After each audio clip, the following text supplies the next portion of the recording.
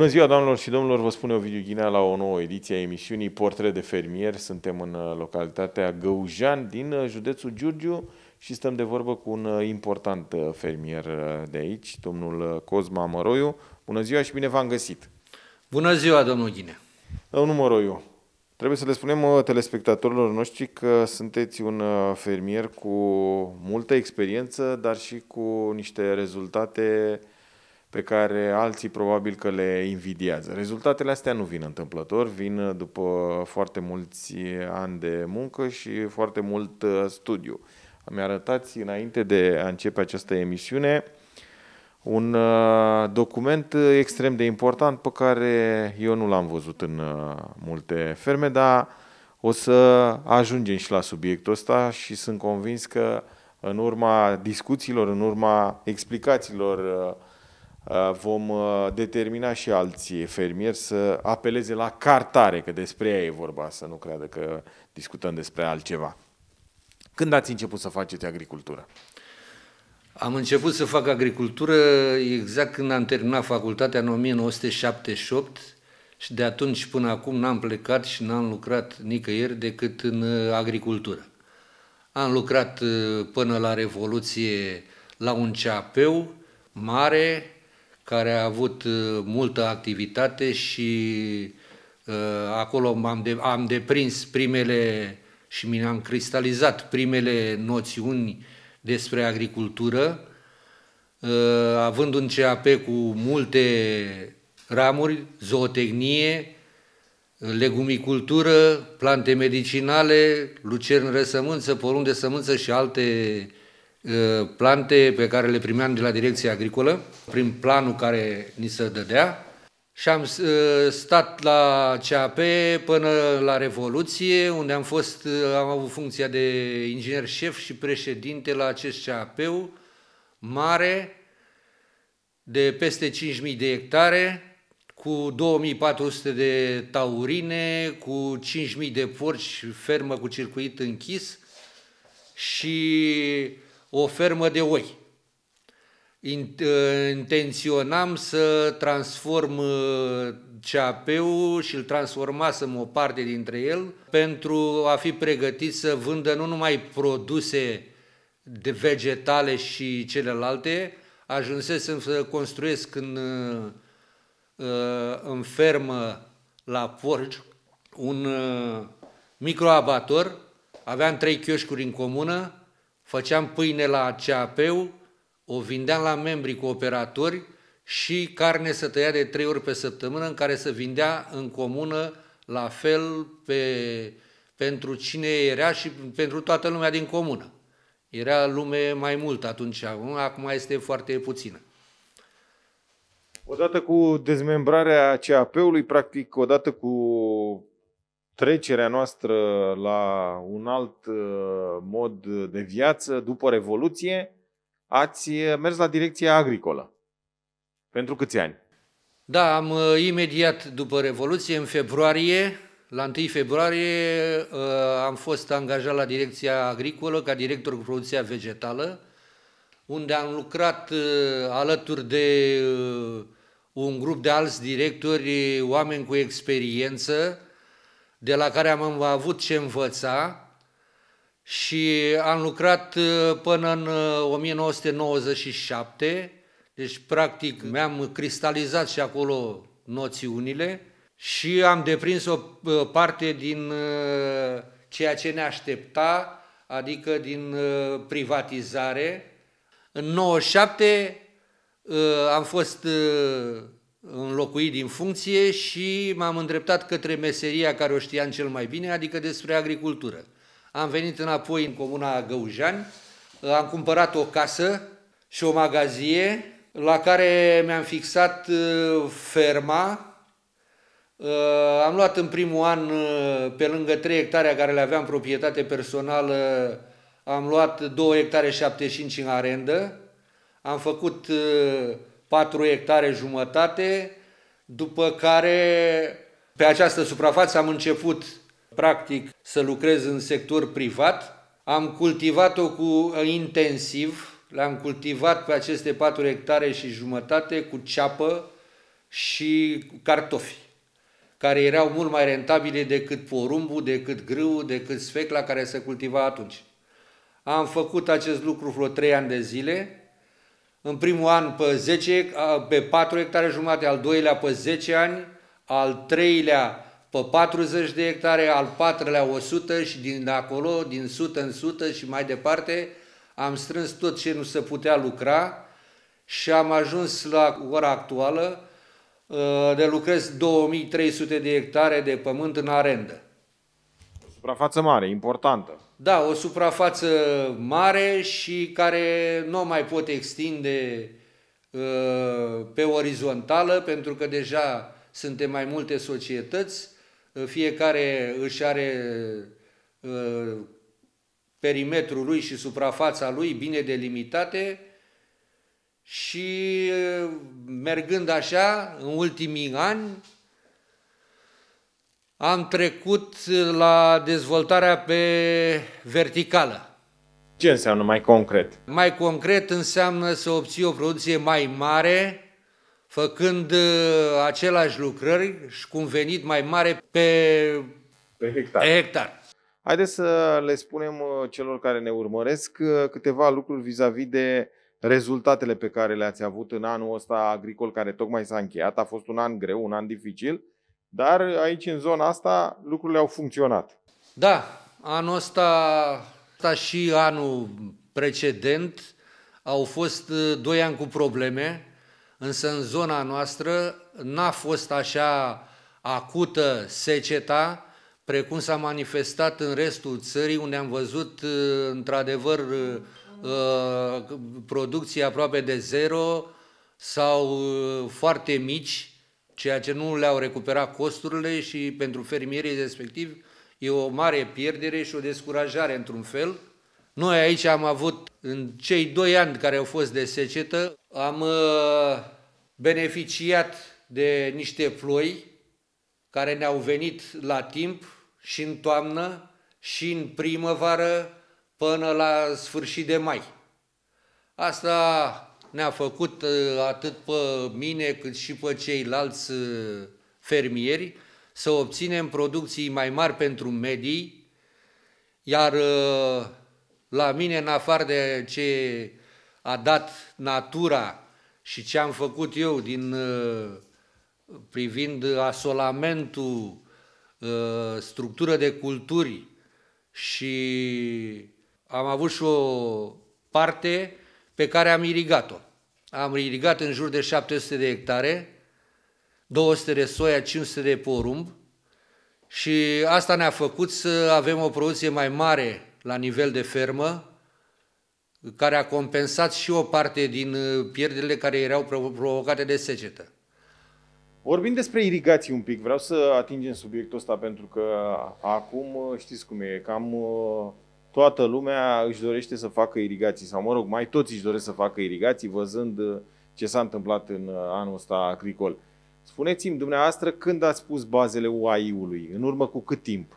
Bazele UAI-ului le-am pus din 2012, când am obținut uh, uh, avizul de la Ministerul Agriculturii cu colabora- în colaborare cu ANIFU, am uh, luat de la ei pe baza OAI-ului și legislației respective trei stații pe o suprafață de trei ploturi care însumează 2050 de hectare.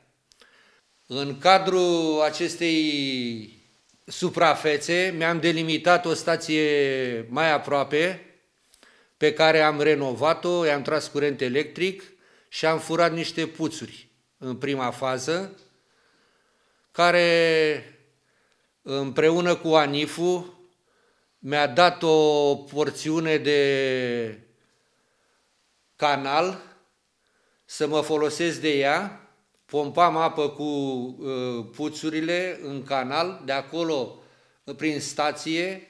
Am reușit să-mi pun uh, un, un pivot de 600 de metri lungime și am irigat prima solă de 100 și ceva de hectare, care era proprietate personală. După care, în anii următori, m-am extins și la ora actuală în, aveam 500 și ceva de hectare irigat, iar în acest an, cu toate problemele care au fost, văzând că e secetă, m-am extins cu încă o stație la care am forat 4, 11 puțuri, care mi-au creat o sursă mai bună de apă și în acest an am făcut o extindere de 244 de hectare. Am luat doi pivoți, unul de 650 și unul de 700 și au mai aplusat la suprafață, ne-am făcut 700 de hectare. E, luând producția care a fost la irigat, o producție mult mai mare decât cea dată de natură și calamitate de secetă, ne-a făcut să obținem producții foarte bune. Am obținut la grâu 7300 de kilograme, de o calitate excepțională, din punct de vedere fizic și calitativ, cu conținut foarte mare în uh, gluten, greutate hectolitrică peste 82-83. Am obținut la rapiță o producție mai mică, de 3900 de kilograme, pe 470 de hectare. La porumb am făcut 12.300 pe total fermă, pe cele 750 de hectare de porumb.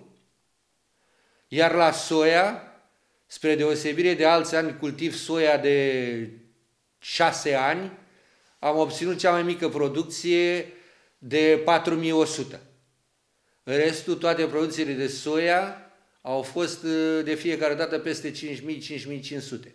Ei, toate acestea ajutând, fiind ajutat și de prețurile care au fost mai bune comparativ cu anii trecuți, ne-a făcut să avem un uh, uh, coeficient de rentabilitate mult mai mare decât ceea ce s-a văzut în uh, țară, uh, producțiile determinate de secetă și de problemele care au fost. Vreți să extindeți sistemul ăsta de irigații pe care îl aveți în clipa de față? Vreți să mai uh, irigați și alte suprafețe? V-ați gândit? Faceți investiții în sensul ăsta? Da, am făcut uh, investiții foarte mari până acum, atât cu utilajele, pentru că am 8 pivoți funcționali și două stații funcționale, care au curent, dus, curent electric dus și pe care o să le vedeți dacă mergem acolo. Mai am o stație preluată, la care n-am apucat să lucrez până acum, dar uh, uh, intenția este uh, categoric de extindere. Uh, voi face prima dată o prelungire la cele două stații care le am, ca în, urmă, în vecinătatea sursei de apă să-mi extind cultura până pe toate suprafețele care sunt neirigate, Asta înseamnă în jur de 250-300 de hectare, după care să încep lucrarea și la cealaltă stație, să o aduc la parametrii de creare a condițiilor de curent, puțuri de apă și echipamentele respective care să mărim suprafața să ajungem undeva la 1500-1600. Domnul Măroiu, revenind la investițiile pe care le faceți și pe care le-ați uh, făcut, uh, am văzut uh, aici în ferma dumneavoastră o gamă de utilaje performante. Cred că rezultatele astea pe care le-ați obținut nu sunt întâmplătoare, coroborând practic irigațiile, tehnologie performantă, am văzut că sunteți de asemenea extrem de atent la toate detaliile, faceți cartare agrochimică în fiecare an sau odată nu, la... Cartarea agrochimică o facem din 4 în 4 ani. Ăsta ar fi al treilea set. Deci cu 12 ani în urmă am început să fac cartarea, la care țin foarte mult, pe care o respect și în funcție de ea și pe planul de cultură făcut de firma respectivă, vin și mă pliez la situația care o am eu, unde îmi stabilesc o structură de cultură adecvată, un plan de fertilizare diferențiat pe fiecare solă în funcție de pH care uh, ne obligă să măcar la, prin aportul de, de, prin aplicarea erbicidelor, măcar să-l menținem la situația care este acum. Deci pe baza planului de cultură, pe baza planului de cultură făcut de specialiștii de la cartare, căutăm în funcție de pH să ne pliem în fiecare an și să ne facem necesarul de îngrășăminte folosind două tipuri de îngrășăminte, cele care ajută la corectarea oarecum a reacției acide, precum și ca reacție alcalină. Restul suprafețelor care se încauderează la neutru sunt o altă categorie care nu aplicate, odată aplicate, nu au cum să modifice pH-ul respectiv. Vreau să discutăm un pic și despre forța de muncă. Sunt mulți fermieri care au o problemă reală în sensul ăsta. La dumneavoastră în societate există o astfel de problemă în clipa de față? Probleme la nivel uh, numeric așa au fost, dar odată cu perfectarea gamei de mașini și a combinelor și la tot ce am făcut aici, îmbunătățit, uh, s-a redus uh, necesarul de forță de muncă pe cele 2300 de hectare care le avem, avem 12 mecanizatori și 4 12 mecanizatori și 4 TESA.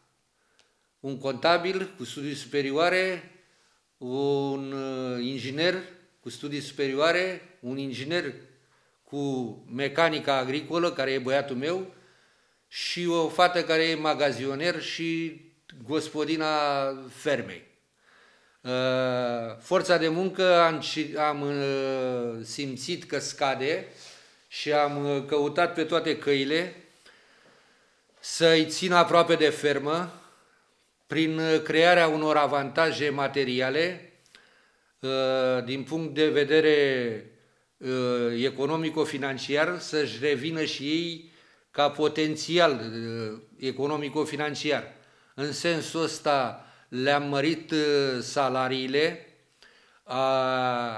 au în afară de salariu și un target pe fiecare lucrare și în fiecare lună fiecare prezintă lucrările făcute și îi se aplică acel target pentru fiecare lucrare în parte. La arat un, tar, un target sau un tarif, la oricare lucrare îi se aplică la orice face în, agri- în uh, fermă, îi se dă ceva suplimentar în funcție de tarifele pe care le-am verificat și se ridică în zonele de, în uh, perioadele de campanie, unde sunt lucrări mai multe și mai complexe și mai grele și care necesită un timp mai mare, uh, tarifele sunt mai mari și depășesc undeva 80, 90 de 8.000, 9.000 de roni pe lună la cei care lucrează ca lumea.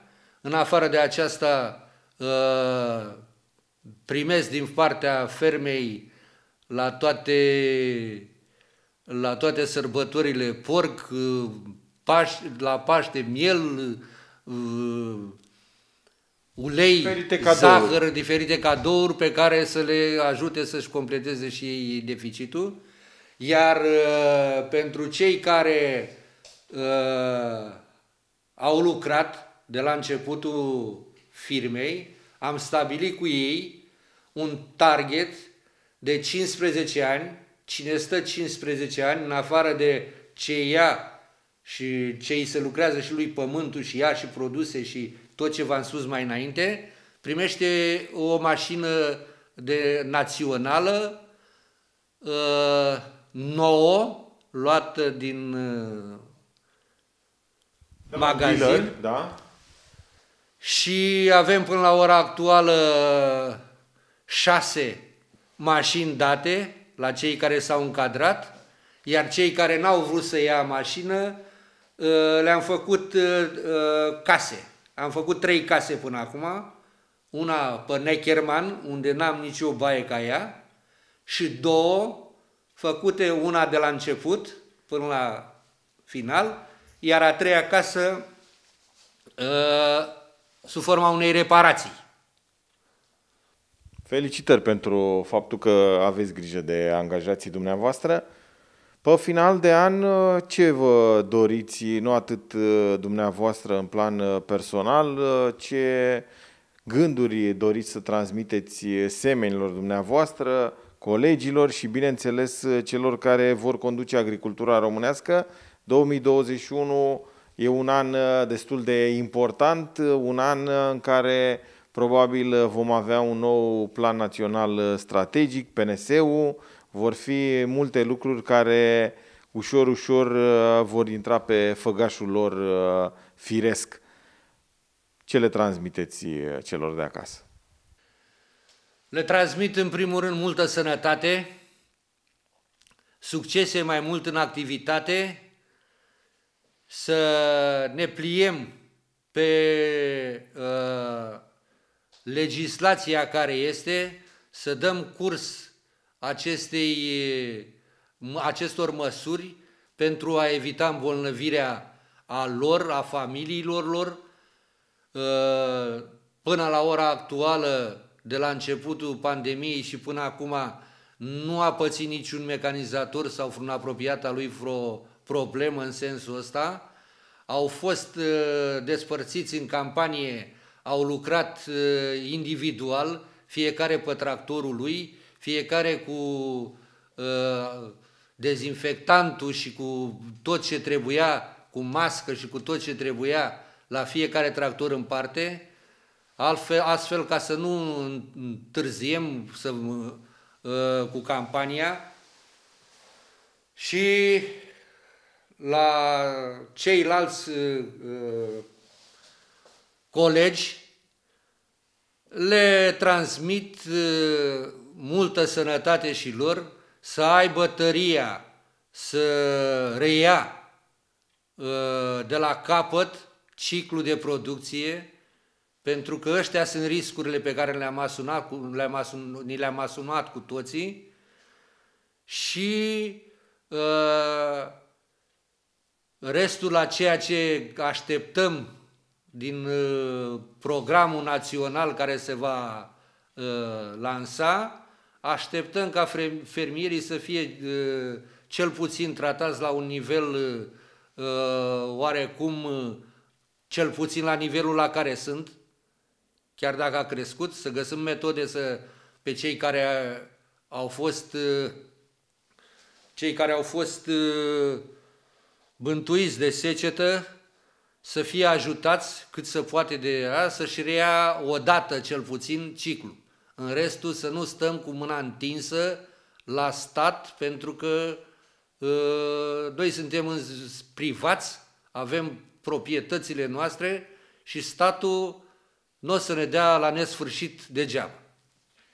La final de emisiune, domnul Măroiu, dați-mi voie să vă urez uh, sărbători fericite, cu liniște, cu pace, cu bucurii, să dea Dumnezeu să avem uh, cu toții un an 2021 mult uh, mai bun decât 2020. Uh, În primul rând uh, să putem să discutăm fără aceste măști, să scăpăm de acest coronavirus și să aveți rezultate bune și foarte bune în agricultură, așa cum ați avut cel puțin până în clipa de față.